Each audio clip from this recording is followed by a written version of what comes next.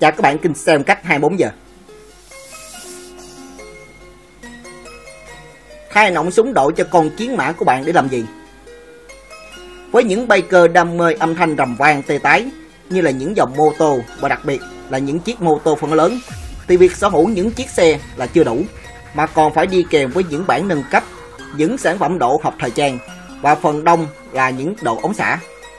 và câu hỏi hai nọng súng cho con chiến mã của bạn để làm gì? Và chúng ta đi tìm câu trả lời ở bên dưới nhé. Để xe chạy êm hơn và nhẹ hơn. Nhiều biker cho rằng độ bu xe để cho xe chạy nhẹ hơn, thoáng hơn, cảm giác tiếng giọng nồi cũng giảm bất hẳn. Thay thế vào đó là tiếng bô quy lực. Để nọng súng của mình đẹp hơn, thay cho sự nguyên thủy thô sơ.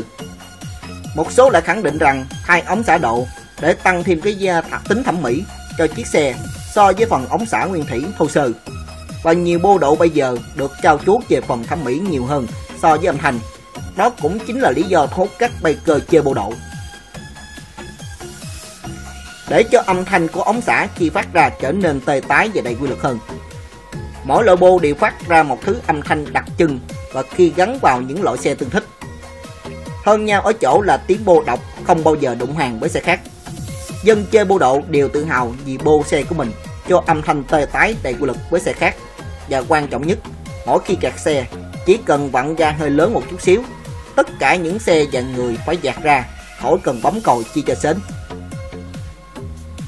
để chơi xe kiển và cho âm thanh trầm ấm cực hay.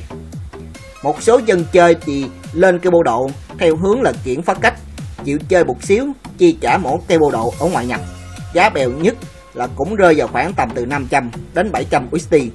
Loại cao cấp là khoảng 3.000 USD một cây tì xe gắn vào cho âm thanh trầm ấm cực hay. Và để tăng thêm mã lực cho chiếc xe yêu của mình, với những dòng mô tô phân lớn thì trang bị thêm cây bộ độ sẽ tăng thêm vài mã lực cho xe. Còn đối với những dòng xe mô tô phân khối nhỏ, tất nhiên cũng như vậy. Dân chơi xe độ độ máy như là trái 57, 62 vân luôn thay những cây bô độ để tăng thêm vài mã lực. Còn bạn thì sao? Thay nọng súng độ cho con chiến mã của bạn để làm gì?